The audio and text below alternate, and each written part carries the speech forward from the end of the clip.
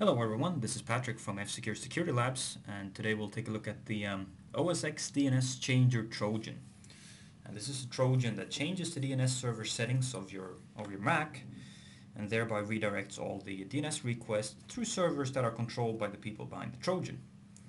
So just to confirm to you that um, our DNS settings are okay as they are over here, we can see that our name server is 192.10.10.1 and uh, let's go ahead and download the Trojan using Safari or any other browser. So um, the um, Trojan that we're looking for is actually available on different websites, websites that normally look like this. There's a, a nice looking girl and you have to install the software to, to actually download the Trojan.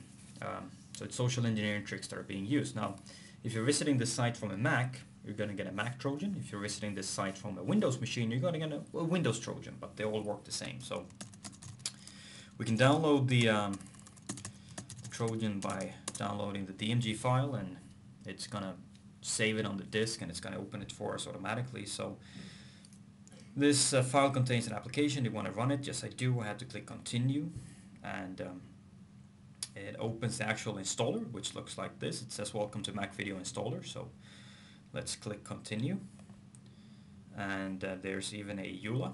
So click continue again and um, we do have to agree to all of this and select where we want to install it. So let's install it on our, our hard drive over here and click install again. And we even have to enter a password. So let's do that. And installing Mac Video and uh, there we go. So it looks like any other software installation on your Mac. And uh, you can go ahead and close these, uh, these menus over here. And if we check the um, the name server settings again, we're going to see that they've changed into two other IP addresses. Now, if I browse on my in my Safari over here and go to any website, it's going to look fine. Um, the um, Google website looks fine. You can go to cnn.com, that will look fine. So as long as I enter a valid URL, it's going to give me the, the real website. Um, nothing fishy about that at all. And this obviously works for CNN, it works for Amazon, it doesn't matter where you go. So from just the outset of it, it looks okay. The user won't really notice anything.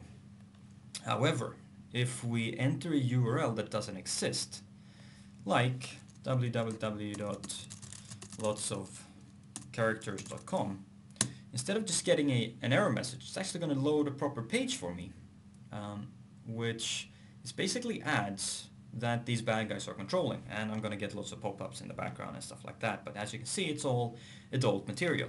And it doesn't matter if I click on these of course these guys are going to make money and they're probably controlling some of these sites too. Now it doesn't matter what I enter. If I enter um, you know anything that doesn't resolve it's going to give me the same page. And we can actually if we uh, if we do an NS lookup for for let's say anything it always redirects to this 216-255-183-93. And I'm going to do it again and another site and it's going to be the same same IP and this is an IP in the US. So that's basically the um, DNS changer Trojan on Mac and um, as of now it's only redirecting these um, these non-valid URLs, but obviously that can change at any time. It could, instead of redirecting you to your bank, it could very well redirect you to a fake bank without you knowing it. That's Patrick at F-Secure Security Labs. Thanks for listening in. Do visit our blog at www.fsecure.com slash weblog. Thank you very much.